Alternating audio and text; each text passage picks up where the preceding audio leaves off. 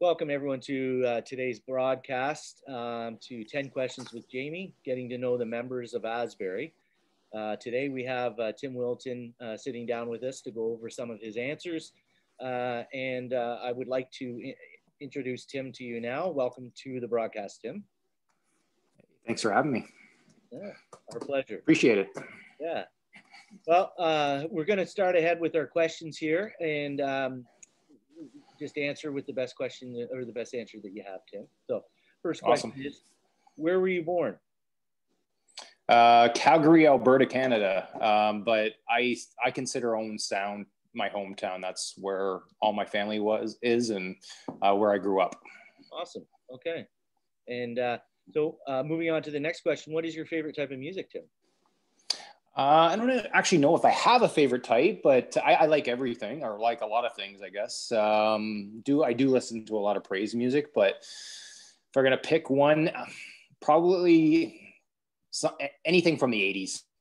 Okay, yeah, uh, that's cool. I'm, I'm an '80s child, and uh, that's probably my favorite uh, era as well. Uh, so I can relate to that. Um, awesome.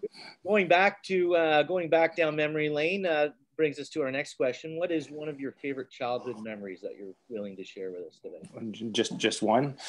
Okay. Um, I, I, grew up with two brothers, so we were pretty active. So there's definitely lots of lots of memories. But um, one that probably comes to mind. Um, you know, I, I think having two brothers, I just had a mother that kind of treated us all equally. She just made a point to make sure that we were all kind of equally loved. But uh, she did make a point, um, and I don't know how often it happened, but I don't really remember how often it happened. But she did make a point to um, set aside time for us individually. So there was always kind of a mom Tim night or mom Brad night or mom Jeff night.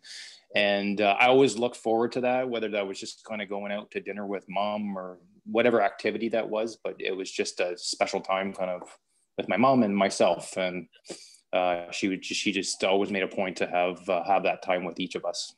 Oh, it's special. That's uh, you know those are the moments that you can't put a price tag on, Tim. And uh, yeah, I don't. Uh, uh, I, I, definitely would consider that a very good childhood memory for sure. Yeah, thanks. Um, on to, moving on to our next question, do you prefer fiction or nonfiction? Uh, now that can fall into a books category, it can movies, uh, whichever uh, relates best to you, Tim. I'm going to say nonfiction for books. I do. I, do, I read a, a, lot of books, so I, I, definitely prefer nonfiction. I think I've read one fiction book in the last two years, but uh, but I think when it comes to movies, I would probably go more fiction in movies on the screen. So. Yeah, that's that's interesting.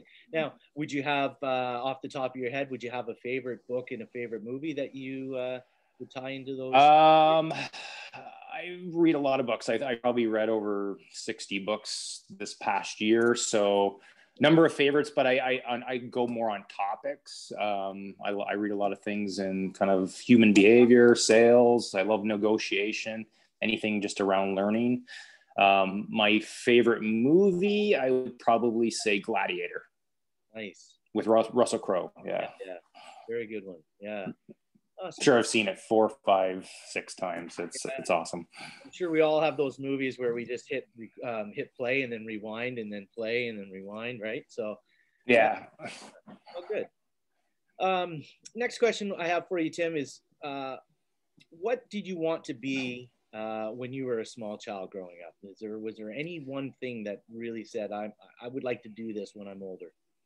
I think again, I one of those things that probably changed over time as a kid. But uh, I remember my my brother Brad and I wanted to be stuntmen in the movies. The guys in the back, uh, the back, uh, just doing all the cool stuff. Uh, you know, I remember I remember talking about that as a kid. But uh, I think there was a time I wanted to be a writer, just write books. Um, and I think uh, I don't know, maybe you and me both, Jamie, wanted to grow up and be NHL hockey players too. So. Yeah, yeah, uh, that's you know that that that would be typical for most uh, Canadian boys, I think, uh, especially in the '80s and '90s, and you know, um, having that as uh, as a dream, I guess, right? So, absolutely. and it's interesting, you know, how um, that can change over time too, from you know being stuntman to writing, which you know on the line there would be a bit of a contrast there, but it just shows you how unique we can be and how we can change over time, um, just um, over our wants and desires for sure. Yeah, I'm kind of glad I didn't go the stuntman route too. So yeah, yeah, I, I didn't get, I did get, did get into hockey. I did uh, work in hockey, but uh, yeah. that just wasn't on the ice. So yeah, yeah. Oh yeah, that's right. Yeah, yeah. And yeah, it, just to touch on that, you did work with the Ottawa Senators organization for quite some time too, right? Yeah, so I guess somewhat of a dream fulfilled. So spent nine nine seasons with the Sens, but uh, got to the NHL. Just wasn't, uh, I guess, in the role that I imagined as a child. Yeah, yeah. That was pretty cool. Yeah. All very important parts, though, to make the the whole machine move, if you will, right? So, no, good for you. Yeah, you bet. Yeah.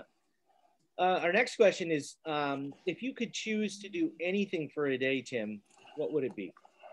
Uh, it's tough. Um, I I like to travel, so I was gonna pick something to do. Say tomorrow, I'd be traveling, maybe overseas. Uh, I'm not much to sit on the beach or kind of sit and relax. I I, I enjoy history and uh, culture, so maybe over in Europe somewhere. Um, my wife's family's from. Uh, most of them are from Denmark. I've been over to Denmark a couple of times, uh, so I'd probably pick Denmark because I just I enjoy hanging out with uh, the, the Danish family family there. So, hey, traveling is not a bad thing. I'm sure there's a lot of people out there that if they could uh, cut away some time from their daily grind, they would. Uh, I'm sure they would choose somewhere in the world to travel for a while. So, yeah, I can see that for sure. Um, now, moving on to the next couple questions here, Tim, we're going to move towards some a little more biblical questions here. And and uh, one uh, first one here is, what is your favorite Bible verse? Um, Proverbs four twenty three. Okay. You know that one? You know it? Uh, I don't have it off the top of my head. Um, no, that's okay. I, I can tell you that Proverbs is one of my, um, I, I really enjoy reading that. And, I, and that's one that I uh, read over and over again. But if you want to share gotcha. the group exactly. Yeah, absolutely. You know, I'm, I'm just, I'm just joking. Uh, guard your heart above all else, for it determines the course of your life. Yeah. I think, um, I, I think for me, it's just kind of the heart issue is um, just a thread that's kind of traced throughout the whole Bible. You know, the heart and mind, just how the heart and mind are just so interconnected, and how that ties into our emotions. And I just think it's just so important to know kind of what we're feeding our heart in life. So uh, just something that kind of that's always stuck with me, Jamie. Yeah, sure. Yeah, and, and everything comes from the heart too, right? So. Um, Absolutely. Yeah. Good, good verse to, to choose, Tim. Um, our next one, uh, and this was um, this was a, a, pretty good question, I thought. It, it, it is what or who had the biggest impact on you and your Christian journey? I can only tell you one, or well, for this, we, can always come back to you and do another interview. Maybe. Yeah, I'm just joking. Uh, there's I, there's been a ton of people actually throughout my life. Uh, you know, definitely um, Ivan Jackson. I just the last five years of my life. Uh, um, he was my he was my doctor growing up, so we ha- we have a history. But um, you know, I've been in Lanark County for five years, and uh, he's just uh, just been such an amazing friend and uh, just I, I, we both we learn from each other but uh, i just enjoy enjoy him and he's just been a, a big impact on my my my continued walk with uh, with christ. Yes. Yeah absolutely. You know and i can relate to that. Dr jackson's been a, a great impact on my journey as well. And i do have a long list but he's certainly on there. There's no question about it. So uh, question there why you would choose him. So that's great. Um, onto our next question here. Uh, other than Jesus, of course, Jesus would be the one that we would all choose here in this one. But from the Bible, who would you want to spend a day with? Um, Solomon, actually. I think uh, he's the wisest man ever to live. Um, I enjoy good conversation. I just think it'd be pretty cool to hang out with him and chat with him for a while. Yeah, yeah, and uh, I'm sure there wouldn't be too uh, many dull moments during that 24 hour period. so, yeah, uh, I'm pretty sure I. I'm pretty sure he wrote Proverbs or most of that, anyway. So, yeah. Uh, yeah. Well, he's he's definitely uh, you know according to the Bible, is definitely inter- in, interesting character uh, of the Bible. Yeah. Question there. Yeah, yeah. Um, now we're moving on to our final question here, um, and uh, this one I, I, I'm interested to hear is what encouraging message would you like to pass on to the congregation, uh, Tim, if you if you had one? Um, I think uh, just start and finish your day with uh, the Bible, uh, His Word. Um, I, I, I, like Rick Warren's quote. Uh, you know, the Bible is the book that tells you that your life is not an accident. You know, so you know, God designed you purposely, and uh, but He also designed you for a purpose. So uh, I just think it's just sticking in, in His Word and. and a good way of doing that is just starting your day and finishing your day with it Yeah, yeah, and that's a great message, and uh, nobody can go wrong with that. Uh, a little bit of advice, Tim, and um, that was that was, that was a great uh, question Q and A. Uh, I appreciate your time, uh, Tim. Oh, thank you. I'm sure the congregation is going to be very interested in in uh, listening into your answers and getting to know Tim Williton a little bit better. Um, yeah, so, appreciate the time.